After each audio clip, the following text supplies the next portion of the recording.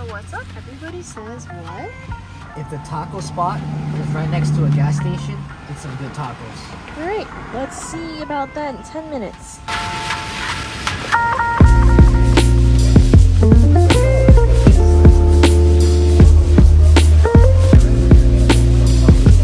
How's it going? Can I get uh, three of your best tacos? You want them corn flour?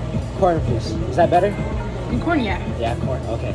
And then I'll get um, three birria tacos. Like an order or an order a, an order has three birria tacos. Okay, then in order then. Uh, and then can I get it to go? The beef or lamb for the birrias?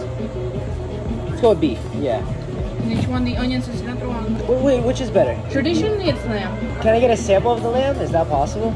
Let's go with the lamb. Lamb? I like it. Thank you. Uh-huh. I appreciate that a lot. Yeah, no problem. Elote. And then that'll be all. And then you get to go, right? Yes, please.